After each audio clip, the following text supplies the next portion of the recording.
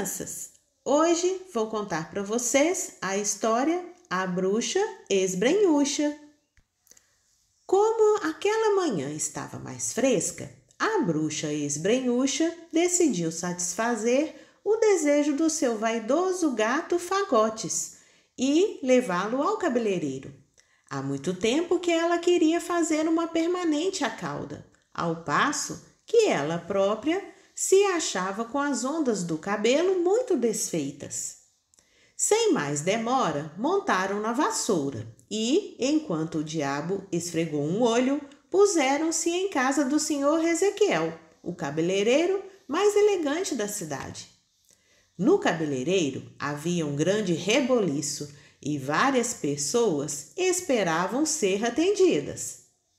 Como a bruxa conhecia quase toda a gente, entrou no cabeleireiro muito sorridente, a cumprimentar para a direita, para a esquerda, para a frente e para trás. Meteu conversa com o rei, que estava a fazer permanente nas barbas, e soube que as duas princesas mais velhas também iam nessa manhã ao senhor Ezequiel.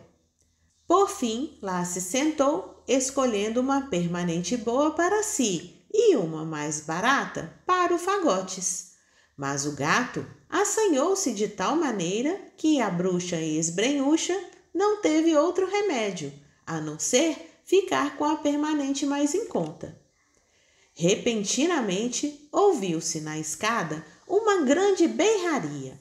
As duas princesas estavam a chegar ao cabeleireiro, mas discutiam e insultavam-se por causa de um príncipe. Estavam tão zangadas, tão furiosas, que se pegaram à pancada. Foi preciso o senhor Ezequiel e mais três ajudantes para as conseguirem separar. Quando tudo ficou mais calmo, as princesas entraram e sentaram-se de costas uma para a outra. O cabeleireiro voltou ao trabalho e, enquanto penteava a doutora Bruxa e o Dom Fagotes, explicou-lhes a razão de tamanha zanga entre as princesas. Ambas queriam casar com um príncipe lindo. Nessa noite haveria baile no palácio para animar o príncipe, pois, apesar de lindo, andava sempre triste. A rainha, sua mãe, já tinha pedido a todos os soberanos do mundo que a ajudassem a acabar com a tristeza do seu filho. Quando tudo ficou pronto, voltaram para casa e a bruxa nunca mais pensou no baile do rei.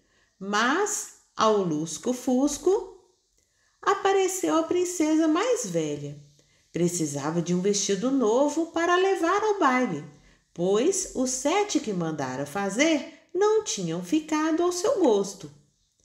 Com os seus poderes mágicos, a bruxa arranjou-lhe, naquele instante, um vestido feito com estrelas do céu e espuma do mar.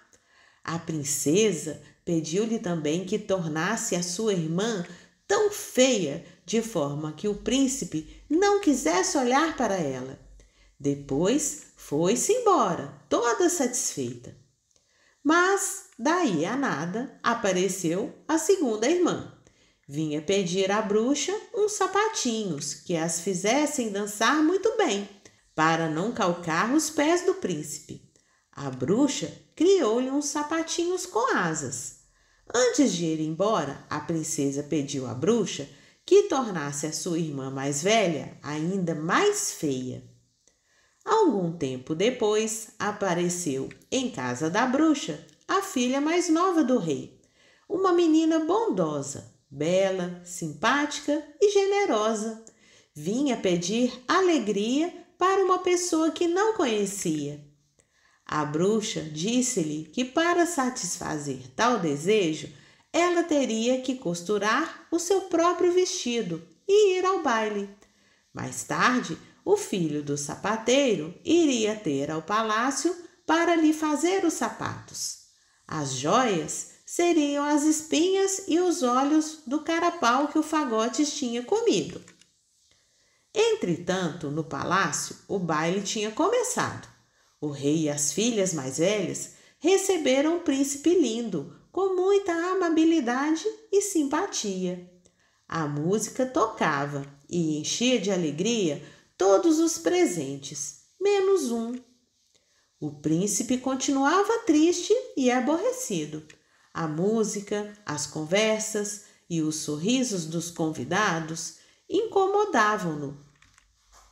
Assim que pôde, esgueirou-se por uma das portas do salão e foi para o jardim, sem que ninguém se percebesse. Tirou a coroa, a gravata de folhos e o casaco, perdendo-se a caminhar por entre o labirinto de arbustos do jardim. De repente, avistou um gato cor de laranja passeando majestosamente. Resolveu segui-lo e entrou por uma das portas do palácio. Viu uma menina a costurar. Estava a fazer um vestido todo trapalhão. Ao vê-lo, pensou tratar-se do filho do sapateiro e pediu-lhe para forrar uns chinelos velhos com um pedaços de tecido do vestido para fazer uns sapatos. O príncipe achou-a tão simpática que pôs mãos à obra, ainda que nunca tivesse feito nada, ainda que não soubesse quem ela era. Antes da meia-noite, tudo estava pronto. A princesa vestiu-se e calçou-se, mas o vestido ficava-lhe tão mal e os sapatos caíam-lhe dos pés. Eles acharam aquilo muito divertido e puseram-se a rir e a dançar. Era quase meia-noite, a princesa entristeceu. Tinha de ir com as suas joias esbrenhachas divertir o príncipe aborrecido. Só nesse momento o príncipe descobriu que aquela menina era a filha mais nova do rei, enquanto ela percebeu que aquele menino não era o filho do sapateiro, mas sim o príncipe lindo. Então a princesa aproximou-se do espelho, viu o seu belo vestido de baile e as suas belas joias. Atrás de si viu o príncipe lindo com um sorriso a encher-lhe a cara toda. Bem longe do palácio, a bruxa esbrenhucha, ao olhar para sua bola de cristal, via o príncipe e a princesa a dançarem muito felizes. Vitória, Vitória! Acabou-se a história. Fim.